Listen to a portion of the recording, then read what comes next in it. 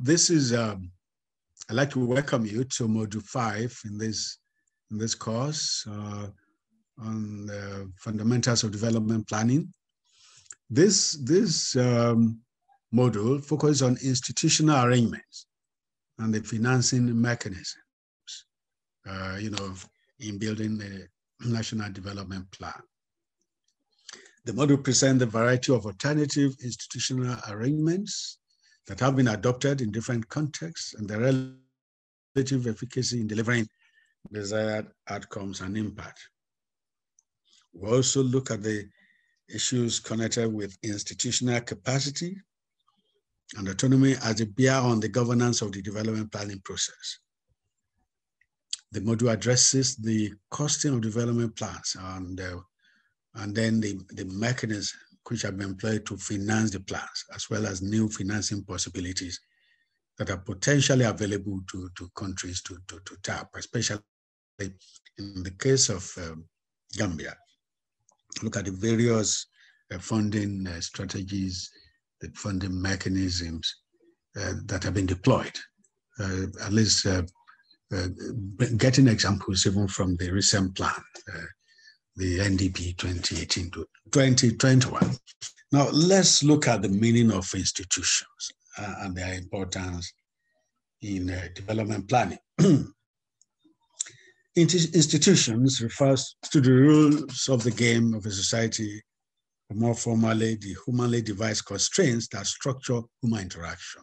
That, that, that is in terms of the uh, uh, concept, you know, Institutions are important because of the key roles they play in facilitating private investment and capital flows and their impact on economic growth and the business environment generally.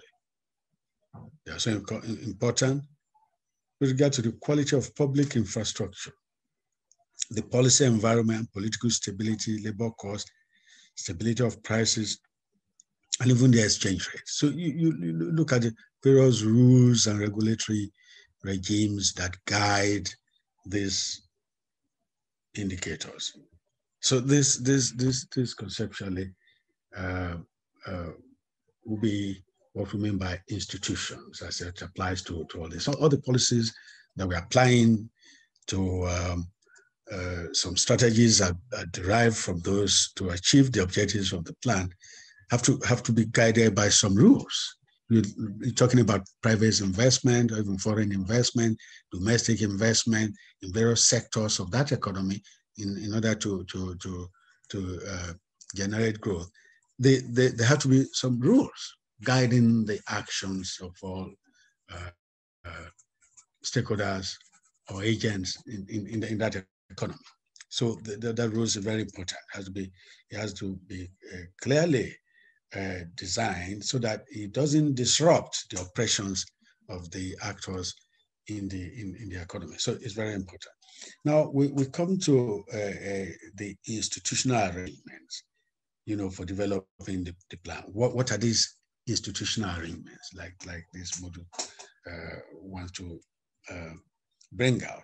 Institutional arrangements for developing a plan refer to the to these policies the systems and processes, including legislation that the countries employ to harness resources and manage activities efficiently and if, to effectively coordinate with others in order to accomplish the development goals and objectives. So this, this, these are the arrangements. If we're, if we're talking about indebtedness, for example, you want to take foreign loan, you know, some countries approval of uh, how much you borrow externally, you know, have to come from the parliament. So, and then there are rules uh, on the ground, and then even legislation and even governance arrangements uh, before all those loans can be can be approved. So, and sometimes if you need external financing, and this these rules, these institutions must work effectively for you to be able to get uh, the, the uh, right resources uh, for you to pursue these goals in many African countries, the key agencies that, that are connected with this, with this institution that are directly involved also in the planning process are, uh, uh, uh, for example, the cabinet. is very important, the executive arm of government. Then the parliament is, is, is key. Then you have uh, uh, uh, agencies set up from this. You have the National Planning Commission, general in many African countries. Then you have the line ministries, and then you have some uh, regional zonal offices of this of these ministries where you delegate authority, you delegate power uh, for them to implement at uh, at uh, various subunits down down the line. Now we we we have to illustrate uh, with examples of institutional arrangements uh, for planning. We use two countries to illustrate the roles of these uh, institutions, the structure in place during the planning, uh, during the building of national plans. I will take Nigeria and then Gambia, so that you can see the uh, uh, involvement of the various institutions in the recent 2018 to 2021 uh, NDP for Gambia. And then you can see our experiences, the experience of Nigeria during the 2020 uh, visioning process. Now, um, let's let's take the Vision 2020 uh, uh, in Nigeria and look at the institutional arrangements uh, as an example to let us know clearly what, what we mean about this and their roles in, in the development of plans. The Nigeria Vision 2020, the process was easily the most wide-ranging consultative process ever undertaken in the annals of the history of planning in, in Nigeria. Uh, we here, we illustrate those arrangements uh, and the uh, operations and so on in, in, in this slide. You see the, it's, it's so elaborate. During, when the uh, exercise was being mooted, the, the, the, the structure was put in place. You have the presidency, then under the presidency directly, we have the National Planning Commission at that, at that time. And then you have a, a, a, a thematic working groups. Thematic working groups are set up, you know, that take care of development uh, priorities, objectives in various sectors of the economy. And then we have uh, a central working group that will look at their work. And then you have a, a facilitator, there's a consultant also harmonizing all these things. And then you have um, a drafting committee at the end of the day when the inputs from all the thematic working groups have been put together. Now we now have a drafting committee to really, to really work on the various layout and then to, to, to, to put up the, the report. And then you have the central uh, working groups also looking at it, and then you have the cabinet, all those in the cabinet presidency giving approvals as, as, as the need arises. And we can, we can uh, see clearly the roles and responsibilities in this operational structure, uh, how things uh, work out. We, we have the National Vision 2020 Council that, that handles the final approval of the, of the vision uh, document. Then we have the National Vision 2020 Secretariat. This served as the administrative headquarters and is domiciled at the National Planning Commission. Now we have the National Vision 2020 Steering Committee. And this uh, one dealt with overall coordination of the thematic groups and activities. Now we have the National Technical Working Groups. This uh, group examined development objectives policies and priorities in key thematic areas, such as agriculture and food security. I was a member of this, of this group, actually. We have the business environment and competitiveness. We have transport, education, energy, financial sector, information and communication technology. We have judiciary and the rule of law. We have manufacturing, environment and sustainable development, governance, political system, human development, minerals and metals, sports development, small and medium enterprises, foreign policy, housing, employment, trade and commerce, urban and rural development, science, technology and innovation, regional development, media and communications, culture, tourism, national orientation, water and sanitation, health education, corporate governance, and social responsibility. So we have all these thematic groups outlining their own objectives, priorities, and so on, working it out, and then and then uh, for the for the central working committee uh, to look at, and then uh, uh then uh, get the inputs into the plan document. There is also the macroeconomy working group. You know, I, I, I mentioned earlier on the role of the macroeconomic framework, you know, to look at the projections and provide policy guide uh, for the various sectors to achieve their plans and targets. There's also the special interest group, examining development priorities and strategies in areas such as media, women, youth, persons with disability, labor, the legislature, judiciary, security, traditional rulers, religious organizations, civil society, and even Nigerians in the diaspora. These are special interest groups. So the interests of these groups, you know, vary and then they are now brought together so that they can make contributions. They can make contributions. So we have the central working group. We have 33 member central working group. I was also a member of this central working group, which was charged with the responsibility of harmonizing all inputs received towards the formulation of the vision blueprint.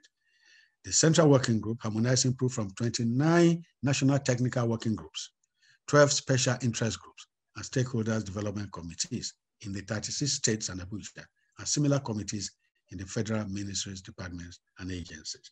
Now we have now have an editorial editorial team which, which come together to prepare the final, the final uh, document. Of course, there's a facilitation group which provides technical guidance to various groups and, and, and, and committees. So that is the um, that is a structure, and that is how it played out during that uh, uh, uh, process of uh, developing our National Vision 2020. And the uh, uh, procedure at, at, that time, you know, from that vision, then we supposed to distill, derive the first plan implement the first implementation plan which was to be 2010 to 2013, like that. So from there, we uh, derive another one, implementation plans until, until 2020. So this, this is uh, this is the process. So you get the, this vision document, and from there, you distill your first implementation plan, second implementation plan, and third implement, implementation plan before you get to, to the destination in 2020. Now, let us uh, look at a similar uh, structure, or, or uh, and in this case, um, the uh, planning and institutional arrangements in, in, the Gambia. Let's let's let's look at this.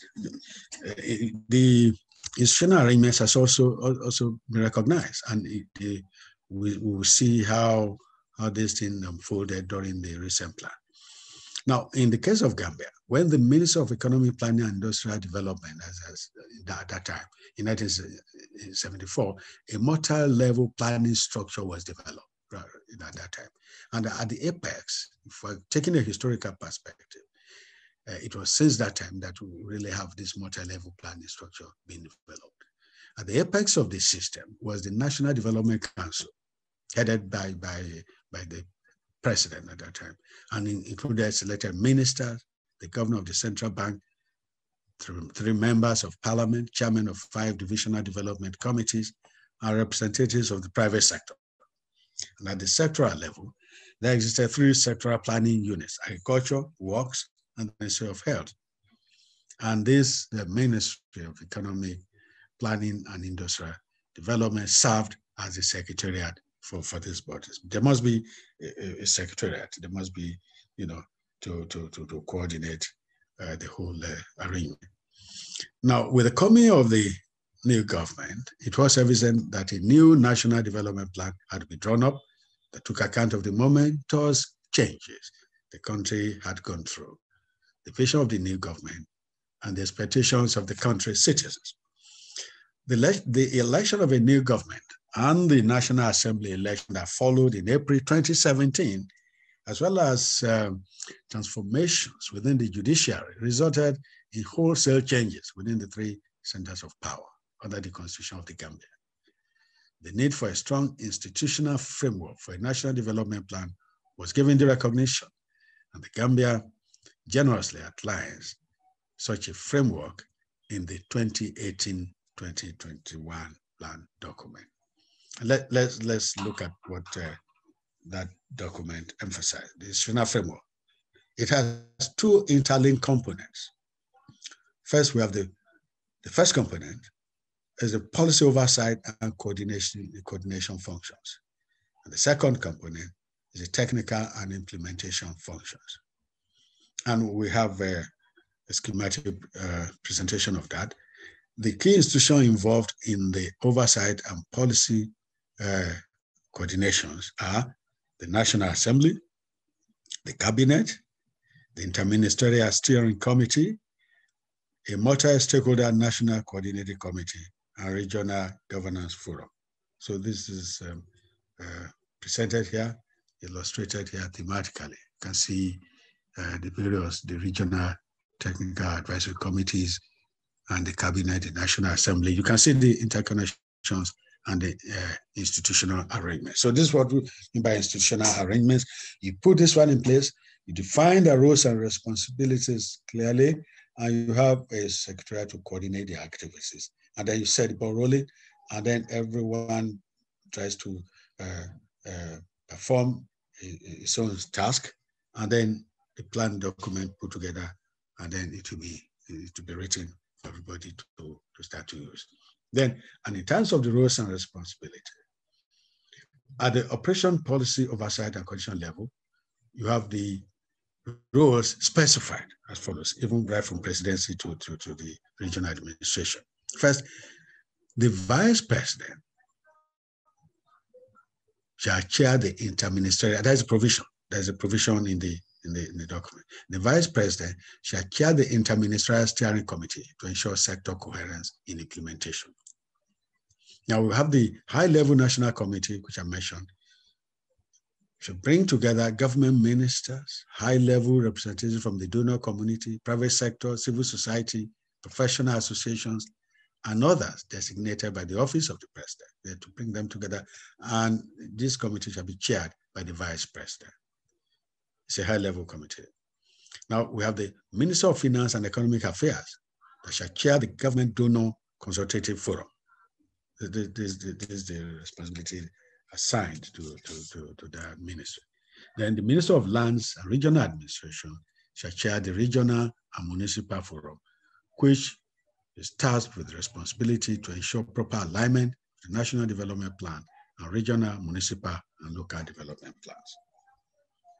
You know, earlier, if we relate this, this arrangement to what we started with in module uh, one, in terms of the uh, uh, dimensions, dimensions of, uh, of planning. And we're talking there about regional, about national, and then we look at the evolution in terms of the enabling environment. So you have even at regional, municipal, and local uh, level, having their own plans, you know, which will be harmonized if the national development plan is to, is to be prepared. Now, at the technical implementation level, which is the second uh, component of the uh, institutional arrangement, the plan stipulated the following arrangements. There'll be a national technical steering committee comprised, comprising uh, all permanent secretaries, chaired by the Secretary General of the Civil Service, uh, which should review and approve work plans, progress, and monitoring reports for onward submission to the uh, MNSC. Directors of Development Planning within the Ministry of Finance and Economic Affairs shall act as secretariat. Now, the there should be technical cluster that shall draw together all the MDAs delivering on the respective priorities of the plan.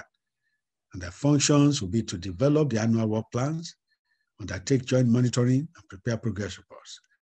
They shall ensure cooperation and alignment of individual MDA work plans related to that strategic priority.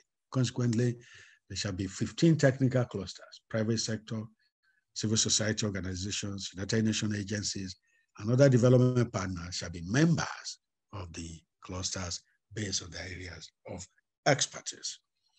Now, the another line of responsibilities assigned to a national M&E platform, which shall be established to ensure adequate monitoring and evaluation of the plan uh, uh, and the Ministry of Economic Affairs and all the uh, uh directors of uh, development planning will coordinate the work of the technical clusters and the M&E platform. And it shall also bring together state and non-state actors. At regional level, the MDT shall ensure that world and local development programs and projects are aligned with the National Development Plan and shall undertake M&E and other related uh, uh, activities. Now, um, we should, apart from identifying these institutions, the question we need to ask, how effective are these institutional arrangements? And one major lesson learned from the planning experience in Gambia was the need to maintain a viable institutional framework to ensure effective and efficient management of plan administration. A major reason for the poor coordination uh, of policies, lack of sufficient linkages between sector priorities and plan and program priorities was the absence of appropriate and active institutional machinery. And so this, this has been the experience. These institutions were put in place and is, is, is, over, over the years and even in many places we have, we have this kind of arrangement, it is easy to understand the need for this structure and even to put the structure in place. But the problem is how to make them effective, how to provide adequate resources to let them discharge the roles and responsibilities assigned to them. And so what we find is that some of these institutional arrangements tend to be dysfunctional along along the along the line, you know. And and part of the thing we will do here is to um, look at ways in which the situation can be remedied uh, in future.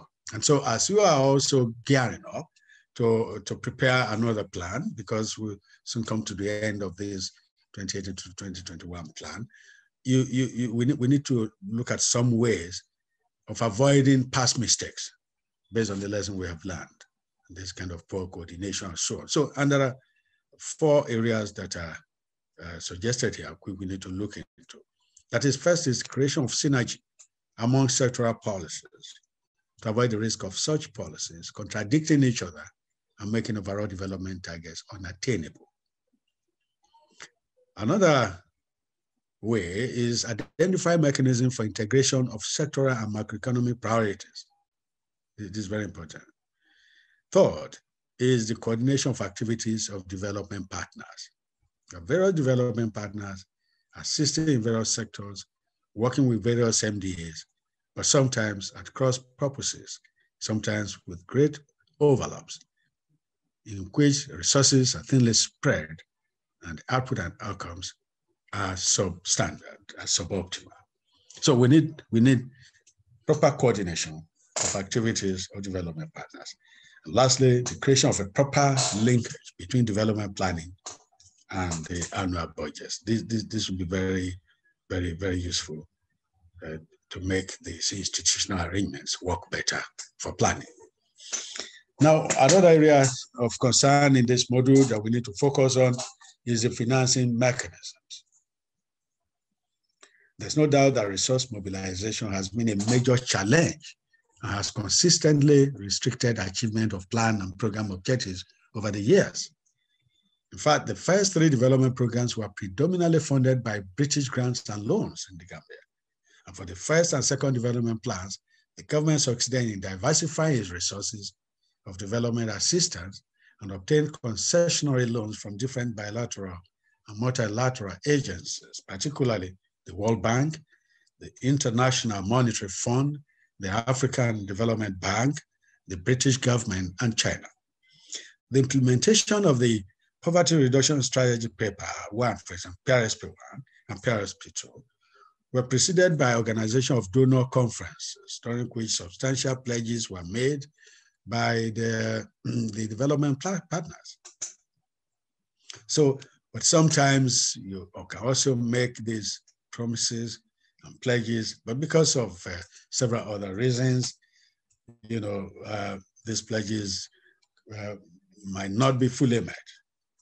So the plan and cost funding experience has not been too palatable. For example, projects under the PRSP2 were estimated to cost $752 million, of which government was supposed to contribute about 100 million US dollars, and development partners about 174 million dollars, leaving a funding gap of 479 million dollars uh, uh, to, to, to, to be to be to be to, to, be bridged.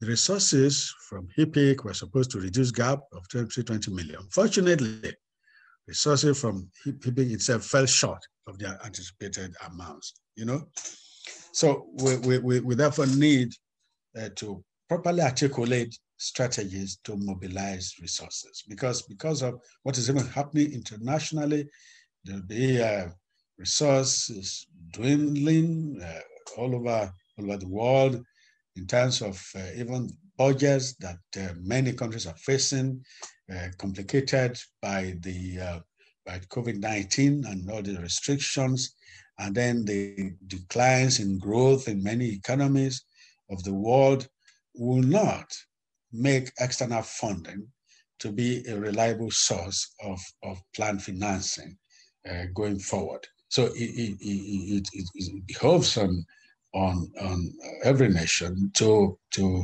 uh, think about innovative mechanisms uh, to, to, to really finance the, the, uh, the plan and also to cut uh, this cloth according uh, uh, to, to, to, to, the, the, the coat according to the cloth, not according to, to the size.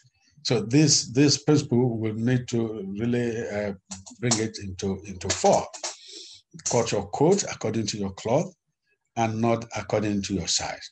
So you see, because sometimes you have a lot to do, you identify so many areas of priorities, and then um, uh, when resources become limited, non-available, then there are various gaps, projects are abandoned, uh, expectations are dashed, hopes are dashed.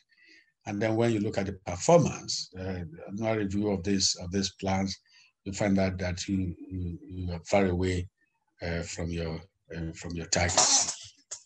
Now, but if you look at the strategies in the case of the Gambia, there is a multi-pronged strategy for financing the plan included among other uh, actions, domestic resource mobilization, innovative financing instruments, concessionary financing.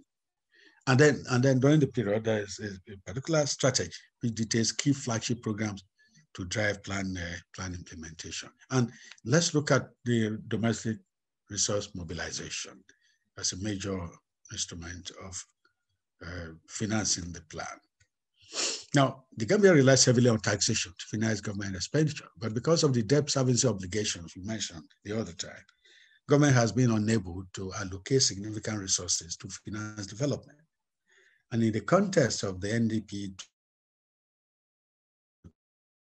2021 contribution to implement development agenda. First is the is the um, idea to continue the path of prudent fiscal management, sound monetary policy, and structural reforms expected to rationalize the budget. The second approach is prudent debt management, especially domestic borrowing, which should lead to increased fiscal space. And the third strategy is more efficient revenue collections mechanisms and simplifying and expanding the, the, the, the tax base. So we, we this, this, that is the strategy and approach of domestic resource mobilization. But in terms of innovative financing that were introduced during that plan period, we have um, operational frameworks for innovative financing in the Gambia, which reflect the highest level of social responsibility and ethical business standards. They were made to be consistent with the sustainability goals of the Addis Ababa Agenda of Financing for Development, which itself is an integral part of the United Nations Agenda 2030. Now, to ensure a successful implementation of the NDP, attention was focused in the Gambia on alternative and more innovative ways of development uh, financing, such as PPP, that is public-private partnerships, capital markets, and blended finance, especially in view of the contractionary global finance agenda we talked about earlier, and the need to move away from aid. Now, look, let us look at uh, some of the features of these innovations. First, let's take public-private partnerships and other financing mechanisms. You know, PPP is a model that has proven successful in upgrading existing and financing new infrastructure uh, projects in the Gambia. And in order to facilitate and promote this approach, government created an explicit and comprehensive PPP policy framework aimed at developing new infrastructure assets and managing and upgrading existing ones. The comprehensive PPP policies has established a broad framework for implementation in financing infrastructure and services while being sensitive to public needs and national uh, priorities. Now, there are specific priorities areas identified for PPPs because PPP may not be applicable to, to, to, to a number of things, but but good good procedure that uh, from the review of the various possibilities, the key priority infrastructure services needs have been identified, and, and they include electricity sector, focus on power generation, transmission, distribution, ferry services, focus on acquisition, maintenance, and operation, water supply, solid waste ma management, sewage, and sanitation, in the road sector, eh, PPP will focus on construction maintenance of expressways, miscellaneous bypasses, ring roads, bridges,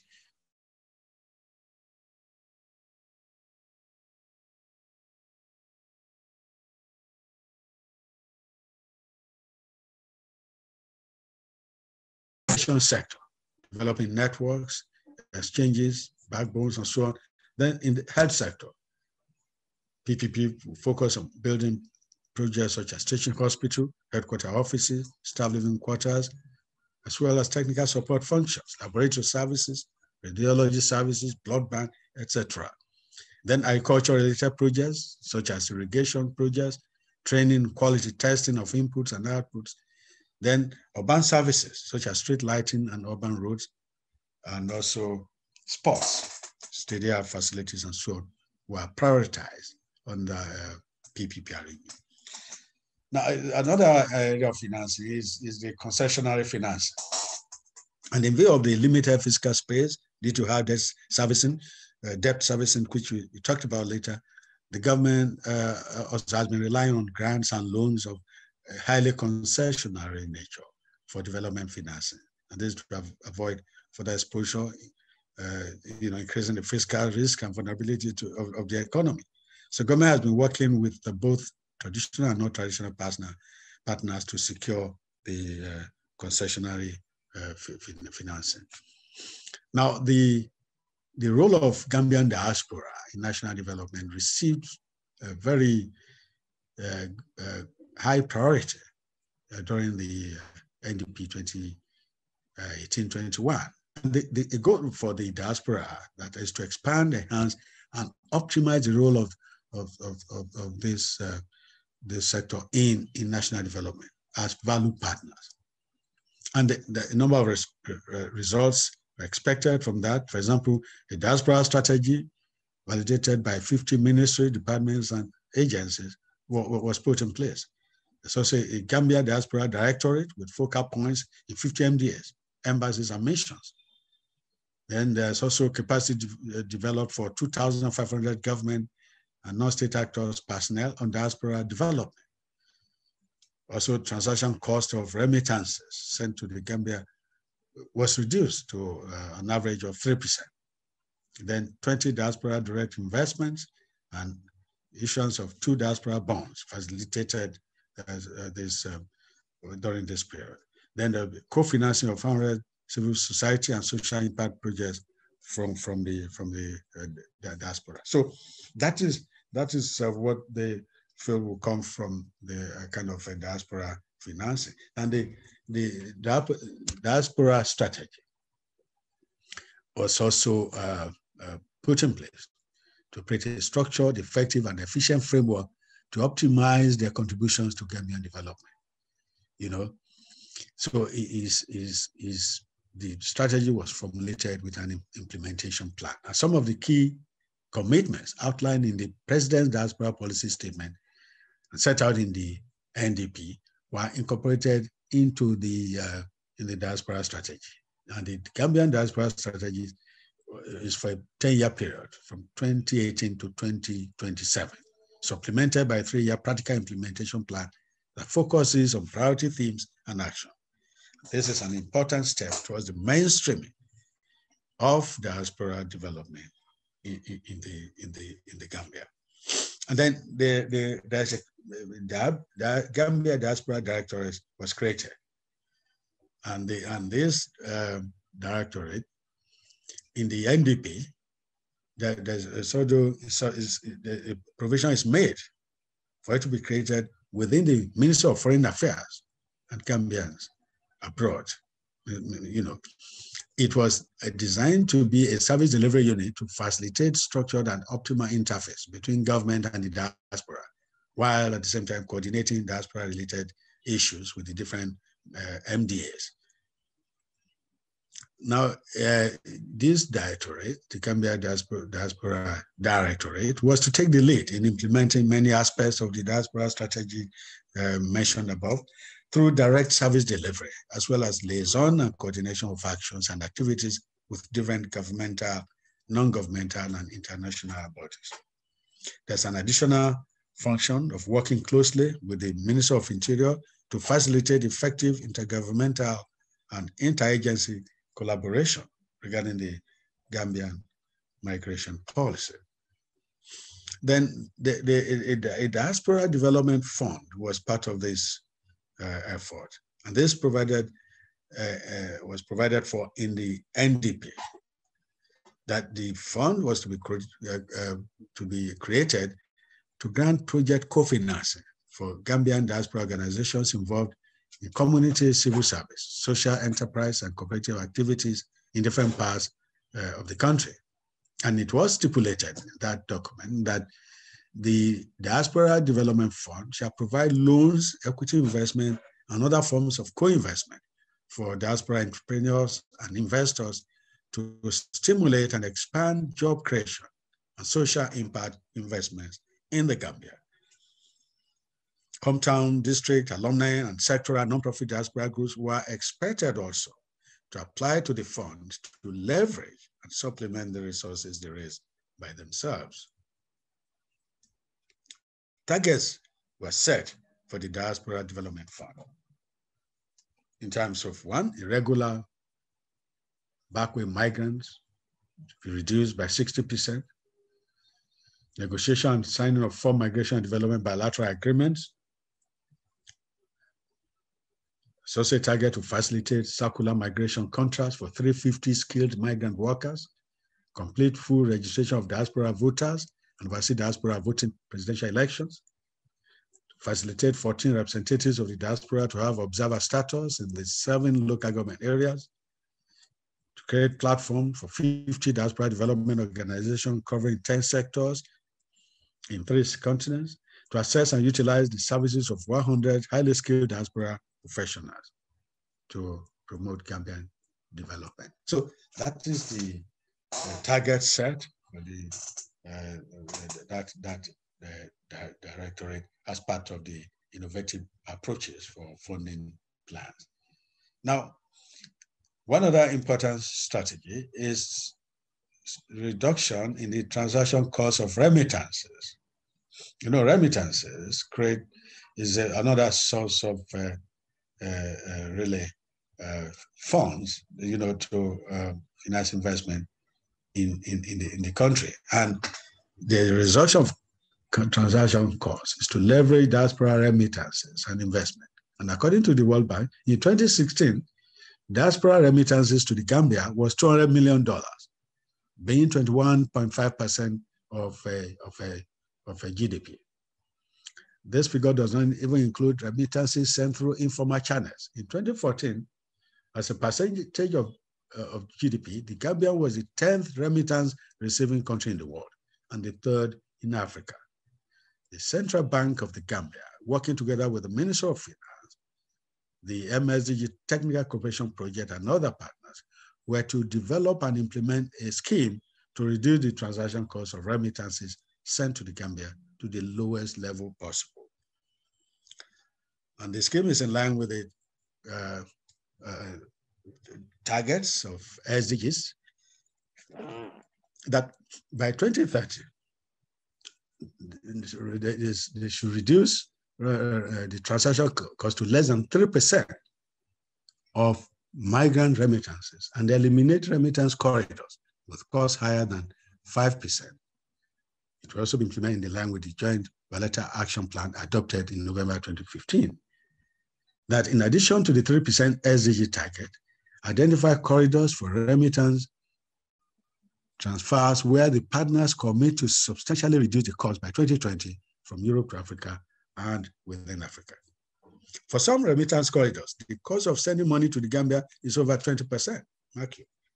So even for a well-developed market such as the UK Gambia remittance corridor, the World Bank reported that in July 2017, the total cost was 9.7%, being over three times the SDG target of 3%, which means there's still a long way to go. There's still a long way to go in terms of reducing uh, transaction costs of remittance. But it is a good idea that it, it is it is already prioritized and the Gambia government will work on ways of getting this target met, having a reduction in transaction costs to promote higher inflow of remittance to the country. Another financing innovation is the diaspora direct investment and diaspora bonds.